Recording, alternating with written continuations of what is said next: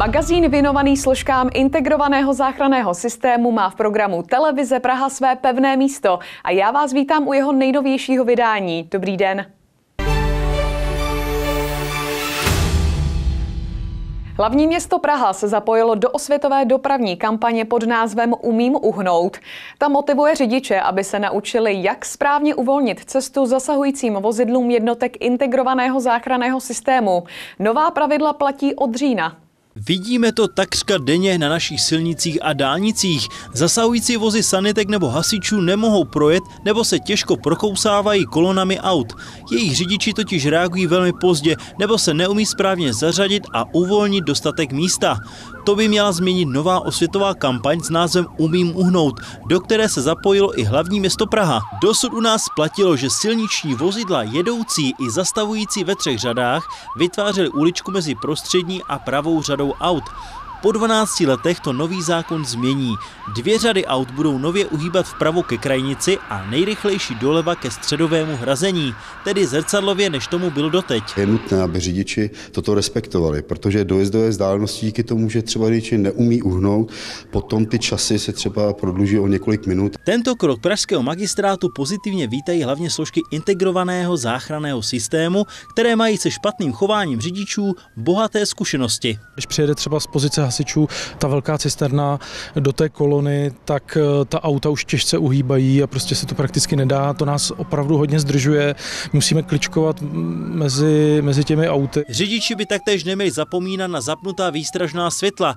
Dávají tak vědět projíždějícím vozům, že s jejich průjezdem počítají. Ideální je, když nám dají vědět zapnutými varovnými světly, protože tak ten řidič záchranné služby ví, že o něm ten projíždějící řidič nebo ten řidič, co zastavil, ví. Součástí evropské směrnice je i přijetí jednotných výstražných světel zásahových vozů u všech složek integrovaného záchranného systému. Kromě modré by měly svítit i červenou barvou. Toto pravidlo však není zatím povinné. Vzhledem k vysokým pořizovacím nákladům zvažují tuto proměnu jen praští hasiči a to u nových vozů.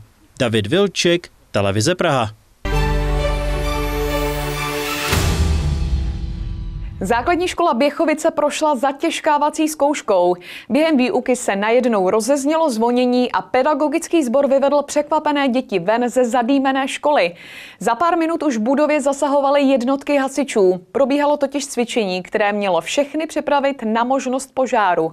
Zakouřenými chodbami se vzorně seřazené děti blíží k východu ze školy. Jedna třída za druhou postupně opouštějí budovu. Ještě před pár minutami neměli žáci tušení, že dojde k zahoření elektroinstalace a bude potřeba přerušit výuku a opustit budovu. Za pár minut přijíždí na místo hasiči. Během zásahu zjišťují, že v jedné z místností je uvězněn ředitel školy. Proto bylo nasazeno AZ-30, automobilový žebřík, za pomocí kterého byl vyndán oknem a bylo mi sděleno, že se pohledávají v suterénu, zřejmě v suterénu, dvě osoby nezletilé. Takový byl scénář taktického cvičení, které mělo prověřit, jak by se postupovalo při reálné situaci. Dvě žákyně školy posloužily jako figurantky a o ničem do poslední chvíle nevěděli. Vůbec nás, vůbec nás nevěděli a pak nás prostě dali do těch místností. Jaké jsou tvoje pocity, jak to celé hodnotíš, tu situaci? Řekla bych, že hasiči byli úplně výborní. Měla jsem strach, ale pak jsem to zvládla, překonala jsem se a bylo to v pohodě. Pane řediteli, máte za sebou záchranu z okna, jaké jsou vaše pocity bezprostřední? No jsem rád, že jsem zachráněn, že jsem to přežil a že pro mě přijeli. Myslíte, že je důležité si tady tohle zkoušet, tyto případy? Já si myslím, že máme být připraveni na všechno a my jsme to vzali i v rámci prevence, eh, požární ochrany a evakuace a takhle podobně, takže myslím si, že to má smysl. Kdo všechno o tom zásahu věděl ze školy? Věděl to pedagogický sbor nebo ani ten netušil? Eh, první třídy to věděli, protože děti ještě nenacvičovaly, takže učitelky z první tříd to věděli. Na místě zasahovaly jednotky dobrovolných hasičů z Běchovic a také jednotky profesionálů hlavního města Prahy. Podle nich je při takové situaci nejdůležitější spolupráce učitelů. Pokud ta evakuace proběhne před naším příjezdem a vlastně řídící ty evakuace ví počet osob, kdo mu chybí, jestli mu někdo chybí, je to pro nás strašný ulehčení, ale hodněkrát se stane, že je to pro nás tak složitý zjistit, kolik lidí tam bylo a to, že opravdu musí projít celý objekt naší, naší kontrolou, prohlídkou vlastně tím průzkumem toho zásahu, takže i na počet zasahujících hasičů je to velmi velmi náročný zásah. Co jste říkali na ten dým hustý, který tam byl? Nebáli jste se v něm? Já jsem si myslel, že to opravdu hořelo. Je takový přístroj, který to dělal. Já jsem, já jsem se ze začátku bál, ale pak jsem zjistil, že je to fejkový oheň. Mezi zasahujícími v týmu dobrovolných hasičů byli starosta Běchovic, který tímto cvičením chtěl prověřit připravenost pedagogů i dobrovolných hasičů. Máme školu s kapacitou téměř 350 dětí a pro nás bylo velmi důležité zjistit, jestli jako zřizovatel jsme schopni garantovat, že ve spolupráci s ředitelem školy bude škola včas vyklizená, že eh, budeme schopni dohledat případně zatoulaný děti a že, a to bylo dneska vlastně takový zpestření, že budeme třeba ředitele, který byl uvězněn v plamenech v ředitelně, budeme ho schopni evakuovat třeba i v oknem. Myslím, že tohle to všechno se podařilo, eh, lépe zhodnotí asi jednotliví velitelé zásahů, ale eh, za mě jako za zřizovatele já jsem velmi spokojen s rychlostí dojezdu na místo, s efektem vlastně toho vyklizení té školy, s rychlostí vyklizení školy a zároveň potom se zásahem a velmi profesionálním zásahem, jak samozřejmě profesionálních hasičů, tak ale i naší dobrovolné jednotky, která byla na místě první a která zasahovala jako první. Pro nás velmi důležitý. Hodnocení zásahu ze strany profesionálních hasičů bylo taktéž kladné. Nikdo by při zásahu nepřišel o život ani se vážně nezranil a školu by se podařilo uhasit včas. Za slabou tři čtvrtě hodinku se mohly děti vrátit zpět do svých lavic. Jan Varga, televize Praha. Na našich silnicích ročně dojde ke stovkám vážných dopravních nehod. V mnoha případech je pak posádka vozů nedobrovolně uvězněna uvnitř a jediná jejich šance, jak se dostat ven, je rychlý zásah hasičů. Deformované vozy a v nich zaklínění jejich pasažéři. Častá situace, se kterou se setkávají hasiči, kteří jsou většinou jako první u těžkých dopravních nehod. Přitom rozhodují minuty, aby byla včas poskytnuta první pomoc a zvýšila se šance na přežití účastníků nehody.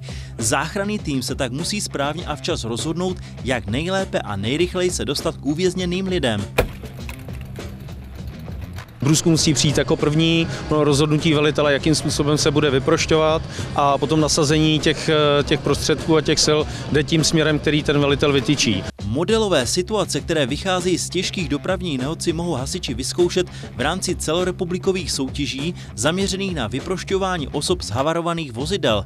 Zde je zároveň hodnotí rozhodčí, kteří sledují jejich taktiku nasazení, použitou techniku a předlékařskou pomoc. Máme 20-minutový časový limit na vyproštění člověka z toho havarovaného vozidla. Pokud se to nepovede do 20 minut, eh, to družstvo dostává nějaké trestné body. Mezi nejnáročnější zásahy patří vyprošťování osob z vozů, které jsou zaklíněné pod jiným vozidlem nebo otočené střechou dolů. Eh, je to složité pro ty hasiče právě tím, že ten prostor je malý a vždycky musíme postupovat tak, aby jsme nezhoršovali situaci toho člověka v té, eh, v té těžké situaci. Každá nehoda je jiná a proto je potřeba být vždy připraven na nečekané komplikace, které mohou záchranný tým zaskočit. A tento zásah byl relativně náročný v tom, že nás tam překvapila ta pračka, která se nám zasekla a pak tam byly sedačky, jinak jsme předpokládali. Že jsme se k ní nemohli dostat tak, aby jsme neohrozili zraněnou osobu. Během celého zásahu hasiči neustále komunikují se zraněným, který je pod obrovským tlakem. Každá minuta strávená ve stísněném prostoru je pro zraněného nejen fyzicky,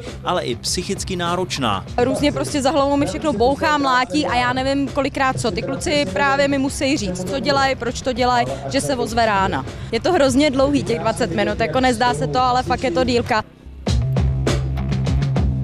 Přestože se záchranný tým snaží jít cestou nejmenšího odporu, je často nucen využívat hydraulické nůžky, které přestřínou železo i plech během pár minut. Tak, aby vlastně toho stříhání muselo být co nejméně.